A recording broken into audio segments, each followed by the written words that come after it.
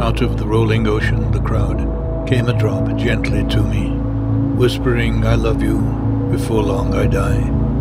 I have traveled a long way merely to look on you, to touch you. For I could not die till I once looked on you, for I feared I might afterward lose you. Now we have met, we have looked, we are safe. Return in peace to the ocean, my love. I too am part of that ocean, my love. We are not so much separated.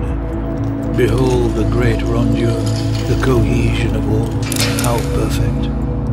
But as for me, for you, the irresistible sea is to separate us. As for an hour carrying us diverse, yet cannot carry us diverse forever. Be not impatient, a little space. Know you I salute the air, the ocean and the land, every day at sundown, for your dear sake, my love.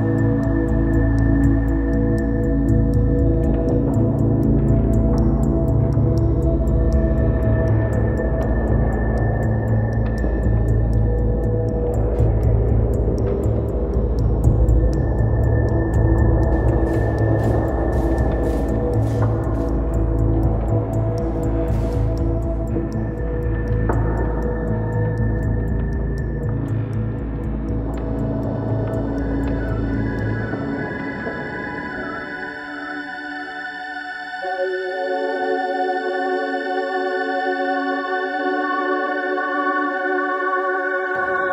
you.